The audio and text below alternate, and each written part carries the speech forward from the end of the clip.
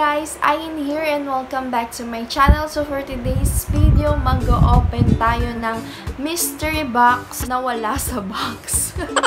Bali, binili ko to sa Lazada nung nag 9.9 sales sila. So ngayon ko lang bubuksan. Actually, nabuksan ko na yung plastic pero yung mismong item, hindi ko pa nabubuksan kasi nagdalawang isip ako. So, ito yung itsura niya guys. Mm. Ayan, guys. So, nabili ko to for only 104 pesos. Ang mura na, ba? Kasi ang akala ko talaga nasa box siya. Kaya nag-avail ako. Pero nung na-receive ko, wala sa box. So, itong mystery box na wala sa box is ang laman nito ay makeup products. So, ayan. I-open natin. I-share ko lang naman sa inyo kung ano yung natanggap kong mystery item. Yan. Nabuksan ko na yan, guys. Naka-bubble wrap siya. Hindi ko alam kung anong brand yung nasa loob niya, pero itatry din natin siya. Kung ano yung laman nito. Secured na secured naman siya na hindi siya ma-open or um, mababasag kung may babasagin man dito sa loob nito.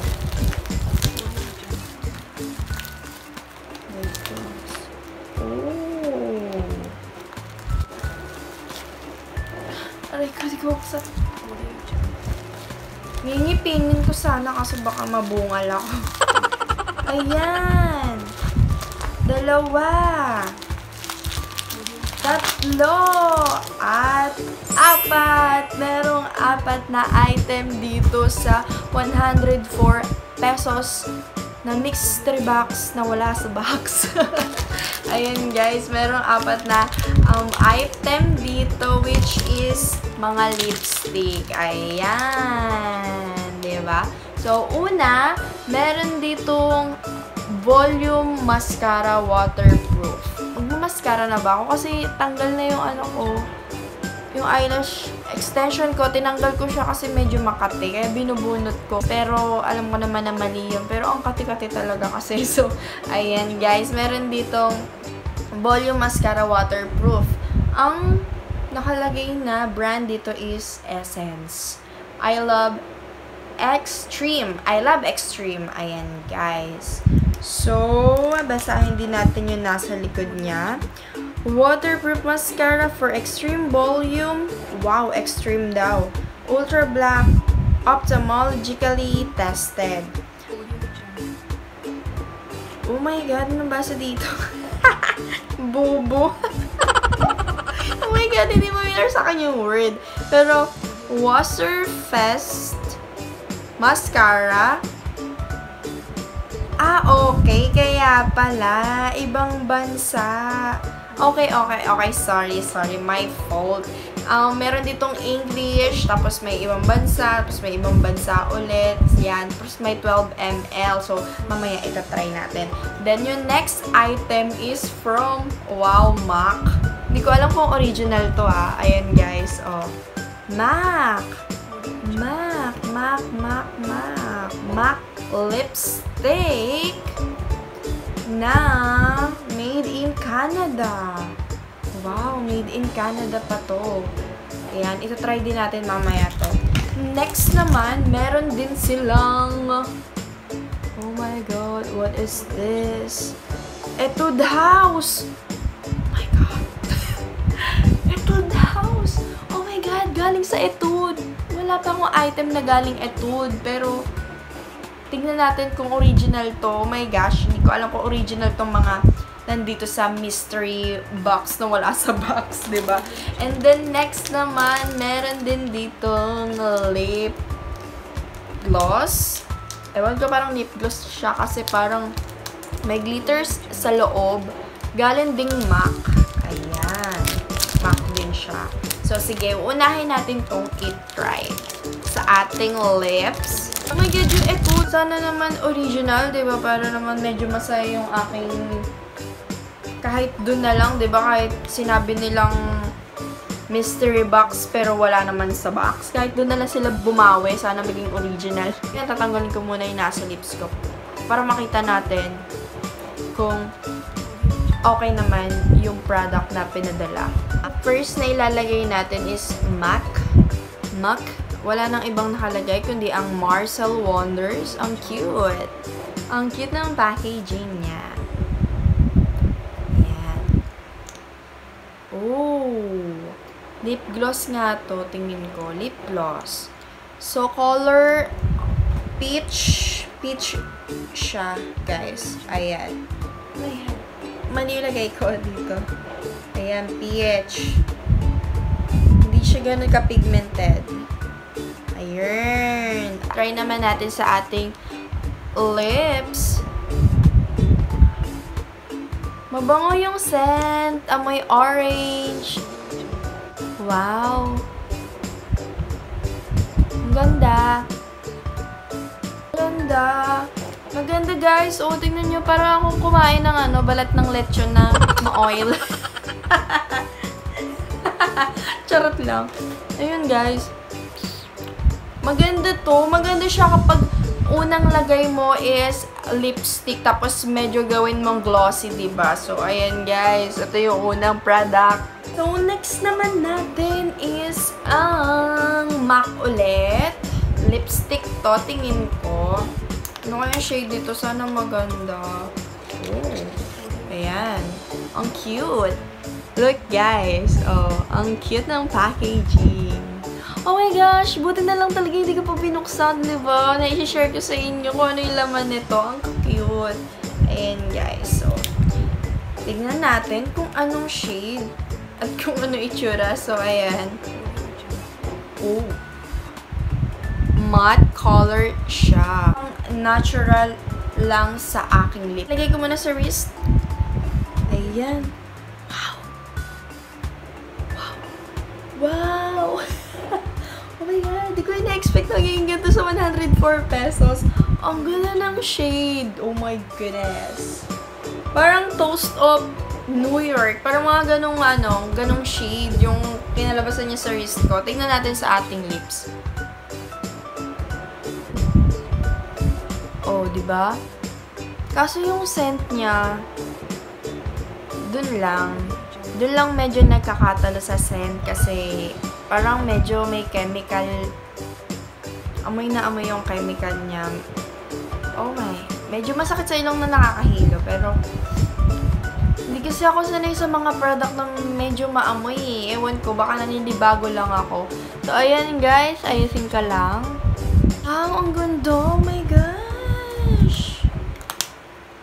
Oh, di ba? Natural lang siya tignan sa aking lips. Ayan. Nude color.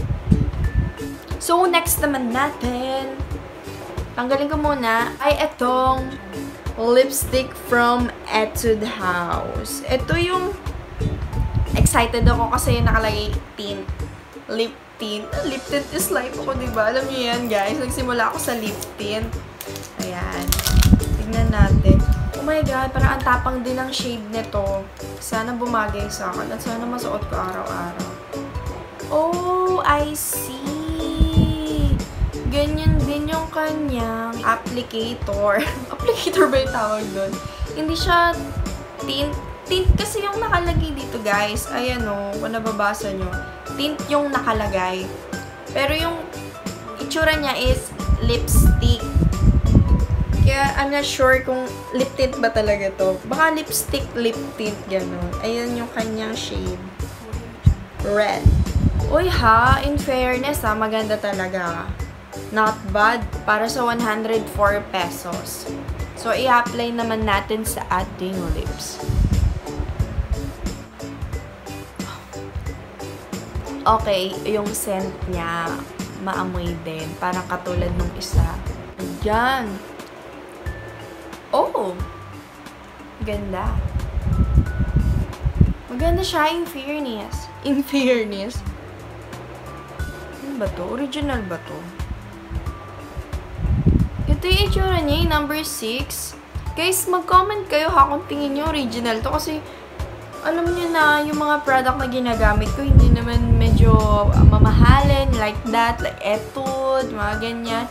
Mga local brand lang yung gamit ko. So, hindi ko talaga alam kung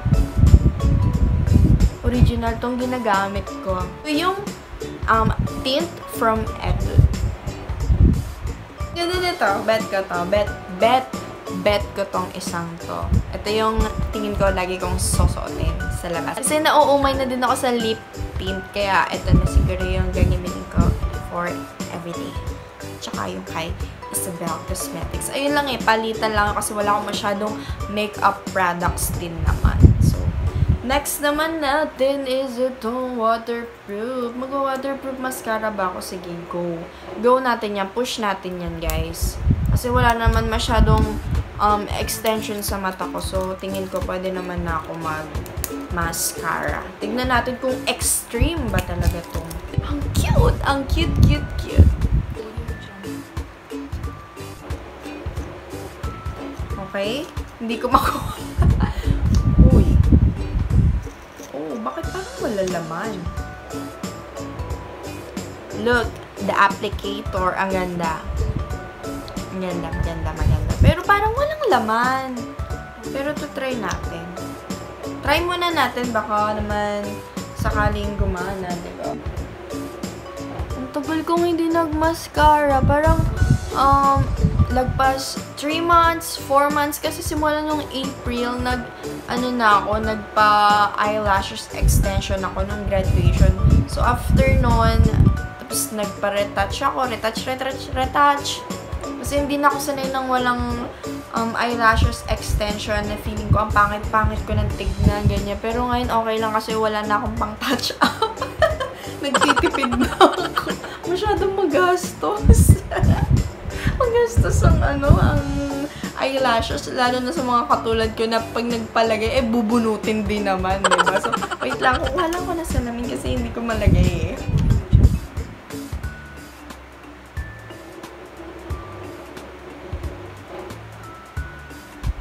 Siguro ito na lang ilalagyan ko, yung mismong pilik mata ko, wag na yung may extension. Baka kasi kung ano mangyari pa. Titignan natin kung ma papantayan niya yung aking extension. Whoa. Oh, shimay. Kumalat. Lang, yung pilik mata ko na mamakyo. oh my gosh. Para dito sa product na to, not bad. Ayan, no. Meron naman siya. May product pa naman siya. Hindi ko lang masyado nilalagay kasi natatakot ako. Kasi ang nakalagay doon sa do's and don'ts, yung don'ts doon, kapag nagpa-eyelashes extension ka, bawal mo lagyan ng mascara. So, ayan guys, ito okay na okay siya. Medyo konti lang yung product sa loob niya. Ewan ko, baka natuyo kasi sa sobrang tagal na. Ayusin ko lang to. So, ito yung apat na product. Guys, not bad. Maganda. Maganda na siya kung tutuusin kasi tignan nyo, 104 pesos lang. Kahit wala siya sa box, kahit tinawag na mystery box, okay na okay. Sa product naman siya bumawi. Pero hindi ko lang alam kung seswertehin din kayo kung mag-order kayo ng mystery box na to. So, kung gusto nyong um, itry, kasi 104 pesos lang naman, ilalagay ko dyan sa description box yung link kung saan pwede nyong i-avail itong mystery box na wala sa box. mystery box na wala sa box. So, ayun lang guys. Shinare ko lang sa inyo yung uh, pag-unboxing natin ng mystery box na wala sa box. Ba guys? So, ayun lang guys. Kung may video na ipagawa sa akin, huwag kayong mahihiyang mag-comment dyan sa baba. At kung hindi ka pa nakasubscribe sa aking channel, mag-subscribe ka na. Pakiclick mo na rin yung bell button dyan sa tabi para ma-notify ka kung may bago akong video. Bye guys! See you on my next one. I love you all! Thanks for watching! Mwah!